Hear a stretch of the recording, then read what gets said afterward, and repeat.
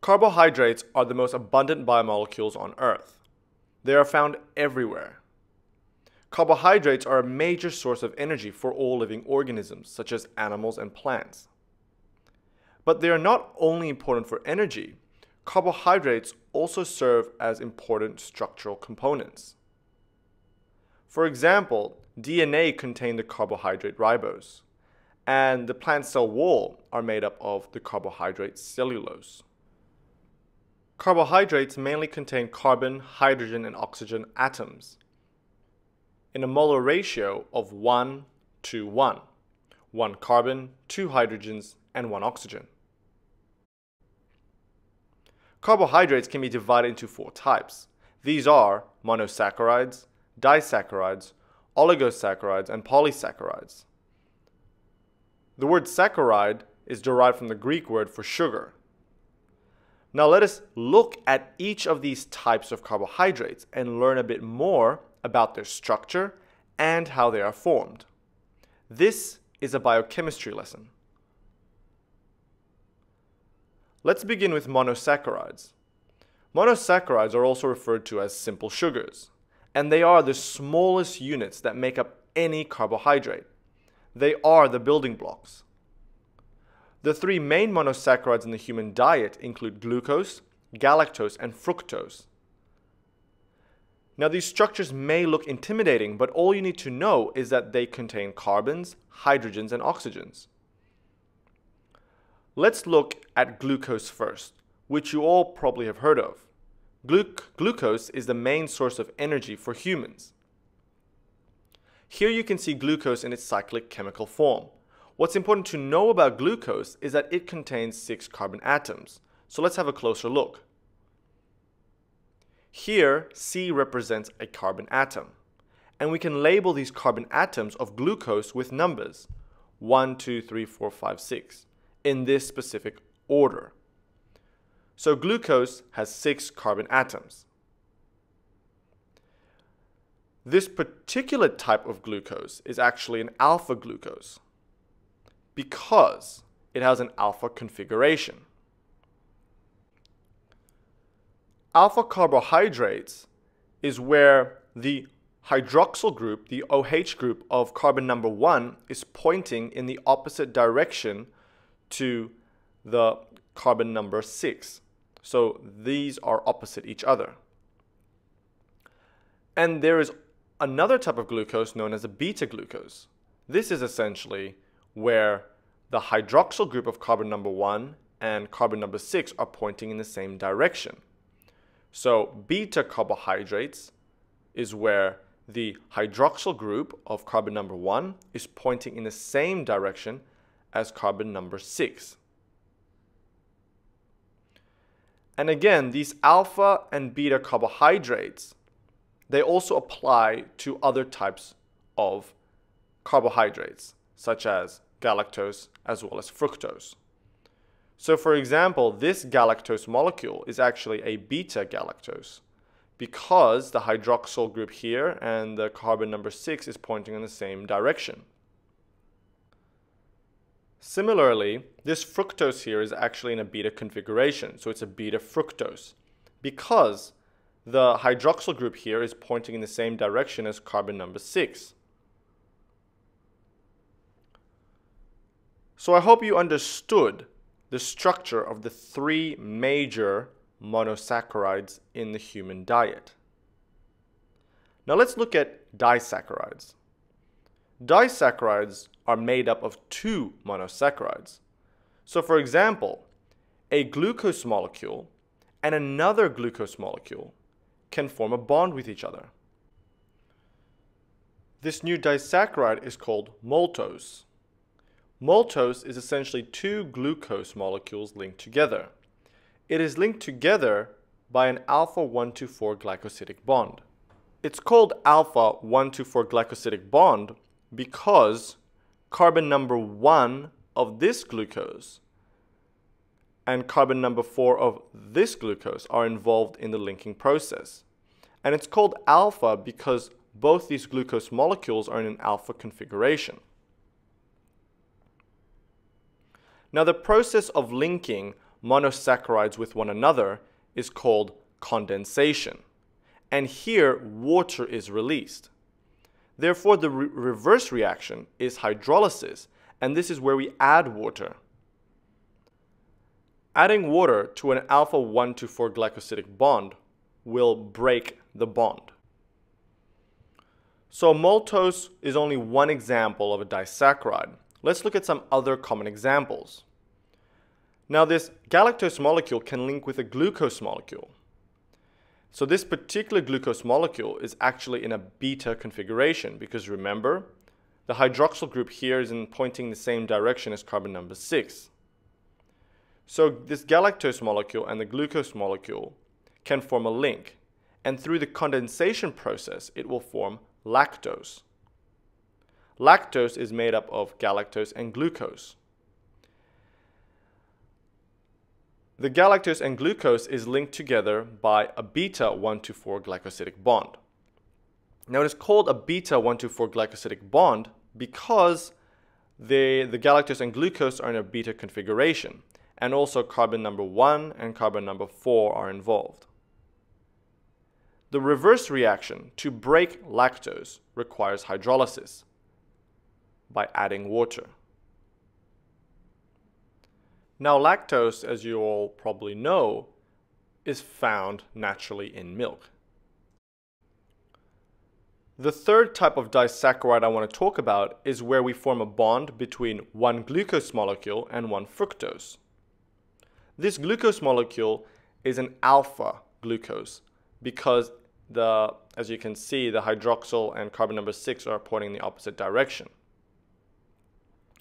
So glucose and fructose can form a link and through the condensation reaction, removal of water, it can form a disaccharide called sucrose. Sucrose is made up of one glucose and one fructose. The bond between the glucose and fructose is a little more complicated, as it is a glucose alpha 1 and fructose beta 2 bond. This sort of linking occurs. So the glucose is in an alpha configuration and the fructose is in a beta configuration. And it's carbon number 1 of glucose and carbon number 2 of fructose that are involved in the linking process. So essentially, fructose flips over. Sucrose, um, as you all know, is table sugar and is formed by plants and not formed by animals. So humans cannot form sucrose. Sucrose is broken down through a hydrolysis reaction. So the disaccharides, maltose, lactose, and sucrose are all good examples that we encounter in our normal diet. Now let's look at oligosaccharides. Oligosaccharides basically consi con consist of short chains of monosaccharides, typically less than 20 monosaccharides linked together. Actually, a disaccharide can be referred to as an oligosaccharide. Now let's look at an example of an oligosaccharide. So if we were to take this maltose and add another glucose molecule to it, through a condensation reaction again, we can form uh, additional alpha-1,2,4 glycosidic bond. This oligosaccharide is called maltotriose, tri as in three. And this maltotriose is made up of glucose, and they're linked together, as I mentioned, by alpha-1,2,4 glycosidic bonds. To break down these bonds requires hydrolysis, the addition of water. And this structure can keep growing with the addition of more glucose molecules. But when the oligosaccharide eventually exceeds 20 monosaccharides with 20 bonds, the carbohydrate is then referred to as a polysaccharide. So from an oligosaccharide, it becomes a polysaccharide. Most carbohydrates found in nature occur as polysaccharides. Polysaccharides are also known as glycans. To simplify things, polysaccharides can be a homopolysaccharide or they can be a heteropolysaccharide. A homopolysaccharide means the polysaccharide only contains a single type of monosaccharide. For example, it only contains glucose molecules linked together. A heteropolysaccharide means that the polysaccharide contains two or more different monosaccharides. So for example, a long chain of fructose and glucose molecules. To make things a little bit more interesting, a polysaccharide can also be unbranched, like what you see here, or it can be branched. This goes for both homopolysaccharides as well as heteropolysaccharides. Heteropolysaccharides can also be unbranched or branched. What you have to understand is that polysaccharides I am currently drawing is, are very small. In reality, the polysaccharide contains thousands, are made up of thousands of monosaccharides linked together. In this section of the video, we won't focus on heteropolysaccharides, but we will look at homopolysaccharides. Because homopolysaccharides serve as storage forms of monosaccharides in both humans and plants, and even bacteria. So they're very, very important. So let's look at some examples of homopolysaccharides. Starch is a storage form of monosaccharides in plants. Starch is the main carbohydrate in the human diet and are found in our bread, cereal, and rice. Starch is only made up of glucose because it is a homopolysaccharide. Let us zoom into this area here and learn a bit about the bonds. So here we have our regular alpha 124 glycosidic bond between two glucose molecules. And this is because carbon number 1 and carbon number 4 of these glucose molecules are involved in the linking process. However, the branching points here is actually an alpha 1 to 6 glycosidic bond between two glucose molecules. And that is because carbon number 1 of this glucose and carbon number 6 here are involved in the linking process. So what to take out of this is that starch has two forms. It can be branched, like what I just explained, or starch can be unbranched. If starch is unbranched, so it is only a chain of glucose linked together by alpha 124 glycosidic bonds, it is referred to as amylose. If starch is branched, it contains both alpha 1 to 4 and alpha 1 to 6 glycosidic bonds between glucose, and therefore it is referred to as amylopectin. Amylose and amylopectin are two forms of glucose polymers. The other good example of a polysaccharide is glycogen. Now, glycogen is a homopolysaccharide because it is made up of glucose. Glycogen can also be branched or unbranched. Glycogen is a storage form of glucose in animals, such as humans. Starch and glycogen are actually very similar in structure. They both are made up of glucose, and they can either be branched or unbranched. So both starch and glycogen contain amylose and amylopectin. The only difference is that glycogen has these branch points occurring every 8 to 12 glucose residues. In starch, these branch points occur every 24 to 30 glucose residues. So the branch points occur more frequently in glycogen than starch. And this, of course, will influence the structure in some way. Another type of polysaccharide is dextrans. Dextrans are structural components in bacteria and yeast. These polysaccharides are made up of alpha 1 to 3 and alpha 1 to 6 glycosidic bonds. So here we have glucose units with alpha 1 to 3 bonds and alpha 1 to 6 bonds. However, the dextrans can also contain alpha 1 to 2 and alpha 1 to 4 glycosidic bonds.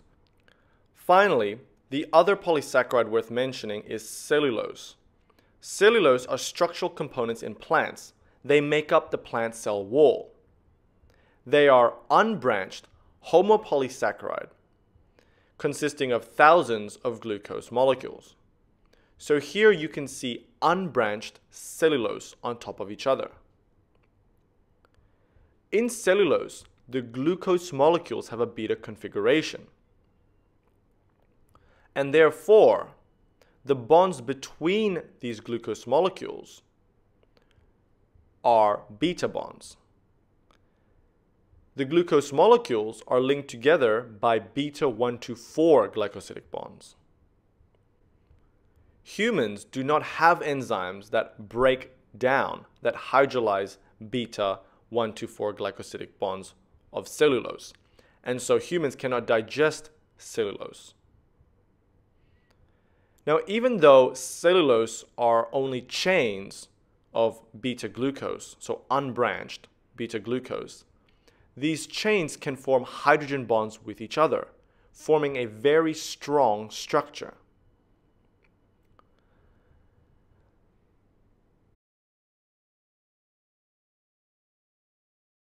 Música